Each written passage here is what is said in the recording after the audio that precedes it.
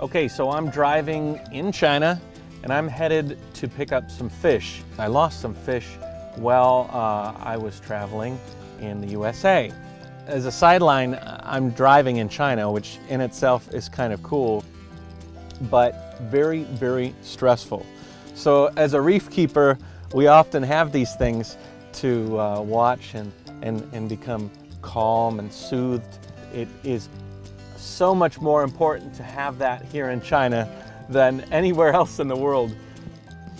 So I'm gonna turn left here. The arrow is green for me to turn left. In China, it doesn't necessarily mean you can turn left. It'll be a green arrow, but the other traffic can come the other way. So that everybody's got green arrows in all directions. It's a completely insane street. Fish shops in China are a little bit different because they, um, they kind of manhandle the fish. They hold them, they touch them, they look at them really close, and there's a little bit uh, more fish loss. A lot of these fish are wild caught. A lot of them are caught in Indonesia using a little bit of a sketchy method, cyanide, breaking the coral off, and, and so there's a lot of mortality, a lot of die-off. So uh, let's see if we can find something healthy to add to the office aquarium. We've arrived now at the pet market. Uh, it's a pet and plant market in Ningbo, and it's its own interesting uh, subculture, uh, and uh, I look forward to showing it to you. Here's, here's an example of the craziness of trying to, not only did this guy park on a 45 degree angle, but he's a parking against traffic. The road traffic is going this way. There are two local fish shops in town. One is here and one, another one is on the other side of town. Uh, this one is actually kind of a friend of mine and the picture you see behind me of the clownfish, that's uh, one of my old clownfish. His name was Ryan. He, uh, he died a while ago, but uh, his image lives on at Cove Aqua, which is the name of the uh, pet shop.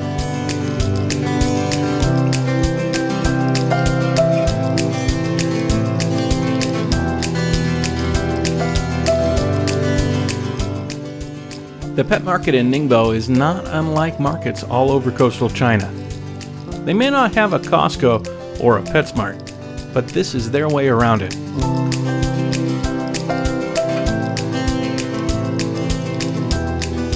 It's pretty fascinating. But my mission today is with Cove. The shop is named after a brand of Cove products, all which I use. My chemical supplements from KH, potassium, calcium, and magnesium, dried fish food mix, really nice magnet glass cleaners, salt, and even my protein skimmer is Cove branded. They all work well, and I try to support my local fish shop by buying the brands they carry. Reef keeping is pretty new to China.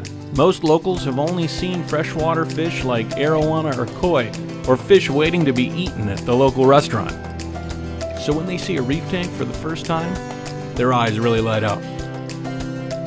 When you're getting new fish, you have a few things you need to keep a close eye on. Outward appearance is the first one. How are the fins? Can you notice any white spots or rotting or signs of fatigue or fighting? I stay away from aggressive fish because I'm trying to build a cohesive fish community. But if you're keeping single fish, maybe a little aggression is good. Look at the eyes, are they shiny and clear? You also want to watch behavioral problems. Watch the fish for a few minutes. Is it darting around quickly? Does it get along with the other fish in the tank? How does it react to you? If a fish is friendly in the store, it's likely it's going to be friendly when you put it in your tank. The last thing that you want is a skittish fish that never comes out into the open. You also have to look at the breathing pace. If they're hyperventilating, it could be a sign of stress due to travel or something unseen. If you can throw some food in, this is another great sign of health. If it's not eating, there may be a problem. The bottom line is taking some time choosing can save you a massive frustration in the future with regards to parasite spreading or simply losing a fish you grew to care about. Today, it's special for you. One dollar. No. it's free for you. Okay. Because I, I ask you. After I finish my business at Cove, then I drive across town to the second shop to see what they have to offer. Fish shops each have their own personality, and it's fun to compare the fish and corals with the style of the shop owner. I normally take one day a week or every other week to go and visit the fish shops in my neighborhood. It's kind of a fun thing to do. Generally, corals and fish are less expensive than they are in the USA and Europe, but prices are rising as the hobby becomes more prevalent.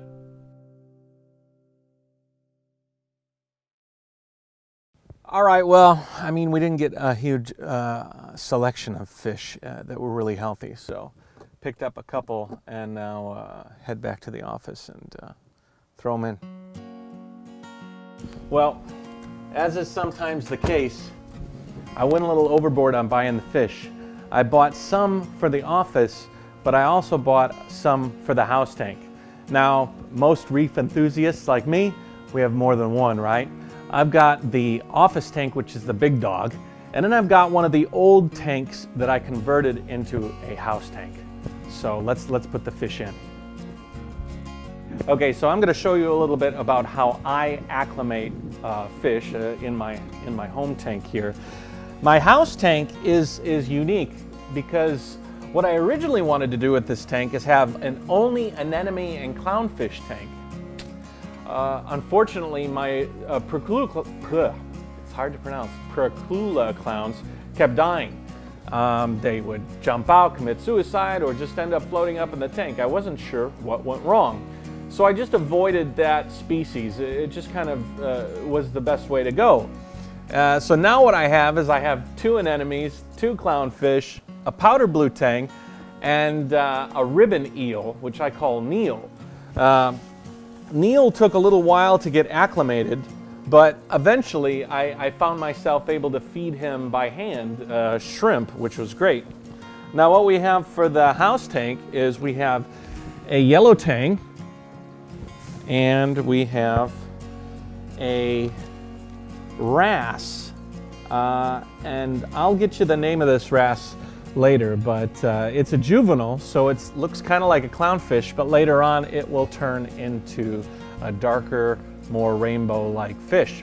I don't have the opportunity of having a, a quarantine tank, so instead what I do is I acclimate water temperature and then water salinity by slowly adding uh, tank water to the bag. And then once the temperature and salinity is pretty good, then I go ahead and throw them in the tank. I wait about 10 minutes, wait till the water starts to acclimate. Some people will drip acclimate where they'll put a tube in and drip it out from the main tank. I don't quite go that far, but let me wait 10 minutes and then I'll come back to you and show you how I insert them in the tank. Neil's getting curious about the new tank mates. No, you cannot fit them in your mouth, so don't even try.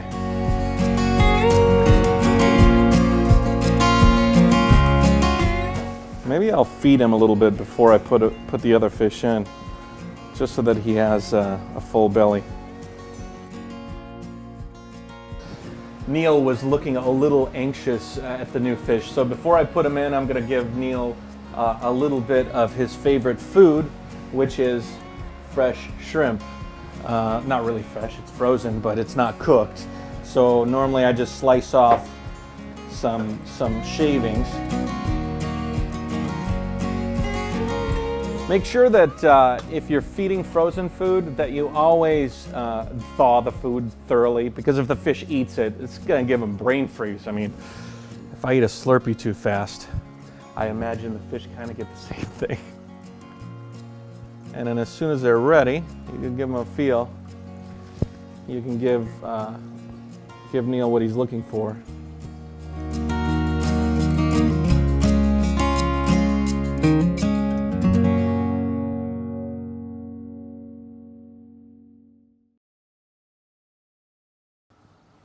I'll feed them a couple of those, and hopefully that'll satisfy them and keep them in there until the new fish have comforted their way through.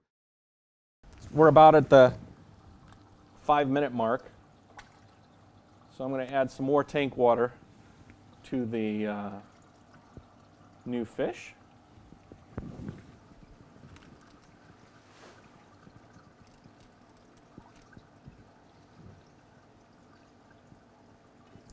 We'll wait five more minutes and then draw. Oh, let me uh, let me feed Neil again till he hides for good. I think he's full, but I think his. Uh, there we go. Come on, come on.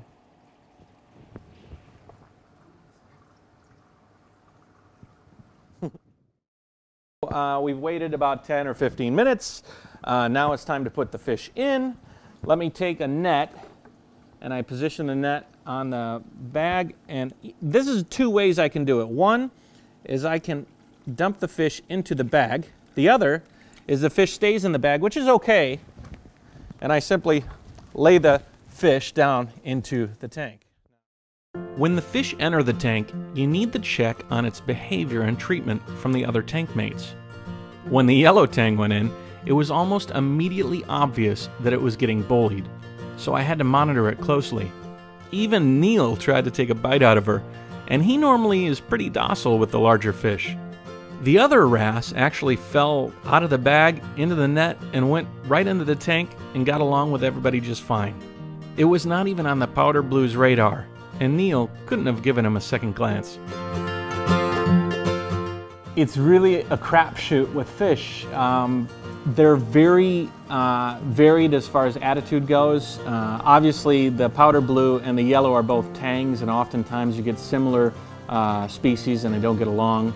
The wrasse is uh, a fairly strong and agile fish. I normally give him a lot of credit, but he is hanging around my eel too much. It needs some time for those fish to understand their surroundings. Um, so anyways, I got more fish I got to drop off at the office, so I'm going to have to leave these guys to uh, evolution and nature.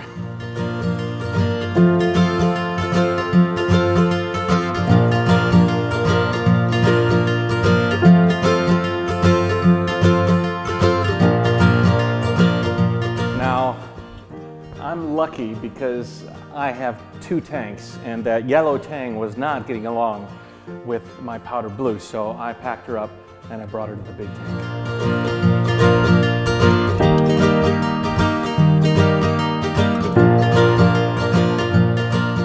Now, one of the different things is I have one very large tank, well, maybe it's oversized, and then I have the home tank, which is smaller. The larger tank allows more space for things to move around, and it also gives me a very large sump area. So when I acclimate fish to my tank on the big tank, I acclimate them in the last compartment of my sump. And for the office tank, I have a firefish. I have uh, the yellow tang, unfortunately, from the house. I hope that the other fish don't pick on him here. Maybe he's just a runt. You never know with fish. I've had yellow tangs that everybody likes, and then I have yellow tangs that have uh, trouble. I found this beautiful leather that's just really, really pretty. I'm really excited about adding it to the tank. I got this at the first store. A doctor. I call it the doctor. He's the, he's, his life is spent picking the parasites and stuff off of other fish. Uh, all of my fish species checks and everything, behavioral checks, go through the website liveaquaria.net. And uh, actually, every single one of my fish I, uh, I check on Live Aquaria. So let's slide them in here. Uh, I do the same as the house, whereas I add the uh, I add the tank water and then I wait 10 minutes and then I throw them in. So let's speed through this process and then I'll show you when, when they're all ready to go. Okay, so the fish have been sitting for a little while, enough to get temperature and salinity good. I added some of the tank water. Another thing that you can look for is as you're adding water to the bag, you can sometimes see a shimmer. If you see that shimmer, it means the salinity in the bag and the salinity in your tank are too different, which means you need to take a little bit more time adding your tank water to the bag. Uh, when I add it, I can tell that the salinity is almost the same so I'm confident in adding my fish to the tank right now. So I'm gonna start with my firefish. And so I am going to take my net.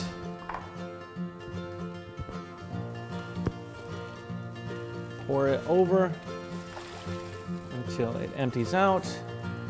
She's feisty. And then I'll let her go in the water. Yeah, there she is, right here. So, I have two uh, firefish in the tank already. So, uh, firefish are typically pretty communal, so she should fall into that group pretty well. Now, let's see about uh, the tang. Uh, I hope that she's okay this time. So.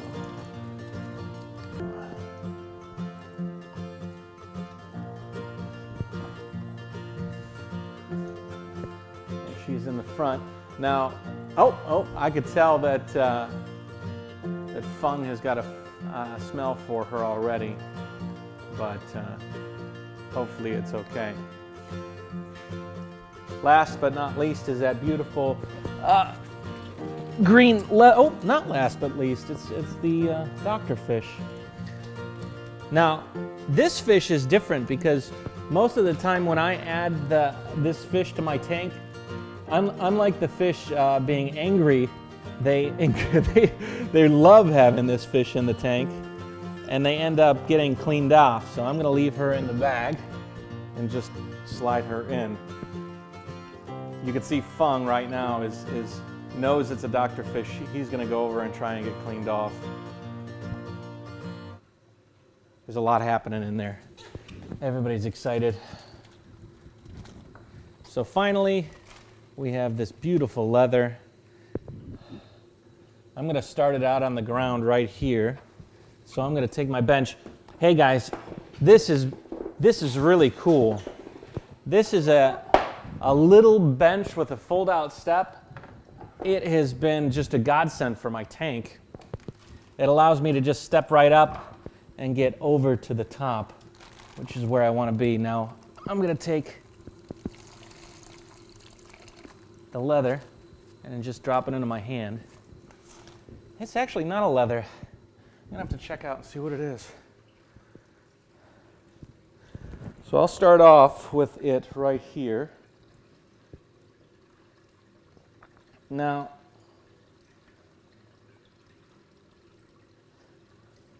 I have crabs in that tank that will move that around like it's furniture. So I'm going to have to make sure that I glue it in place. The, uh, the other thing that you got to consider when you're putting corals into your tank is uh, lighting. Uh, my tank here has different zones for different lighting. Uh, the area it's at right now is highlight. Uh, as you go lower, there are less, uh, less penetrating lights, so you have like some, some different sort of uh, succulent style corals that survive well there, and then the SPS survives up higher, closer to the light. Also, I have a alternating pump system, the Wave Maker, um, and it has high flow and low flow areas. You can see these uh, fire polyps are grown in the uh, low flow area, and the SPS corals are in the direct line fire of some of the high uh, flow. So I'm going to have to look up the behavior of that, uh, that coral I just put in and make sure that I put it in an area where it's going to grow the best way it can grow. So uh, that, has been enough for me uh, putting the new fish in. Uh, I hope you enjoyed the information I had for you here. And uh, look for me again as I talk about different techniques that I use on this tank. And uh, JaYoe. Reef Roll Call. Today's Reef Roll Call is one of my favorite passed on tank mates. Actually, he was in my tank back when I had the other office. He's a blue leg hermit crab named Oscar. Oscar was full of personality, and he was unique because he enjoyed living off the ground, entwined in the branches of a bird's nest coral I had in the tank at the time. Even if I plucked him from the branches, he'd always make his way back to his favorite perch. Oscar never bothered any of the other fish, corals, or invertebrates, and I would recommend this type of crab to any reef keeper. He passed on about a year ago when he let his adventure get the better of him and crawled out of the tank completely. A real loss. This has been Matt. May your pH never waver and your nitrates never rise.